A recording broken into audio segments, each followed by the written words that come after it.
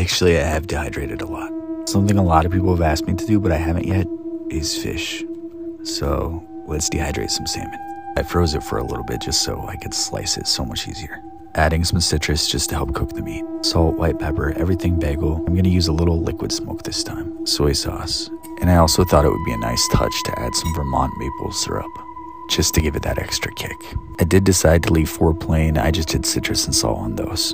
And here we are, the experiment that I never thought I would do dehydrate fish. But now I'm curious. I'll see you later.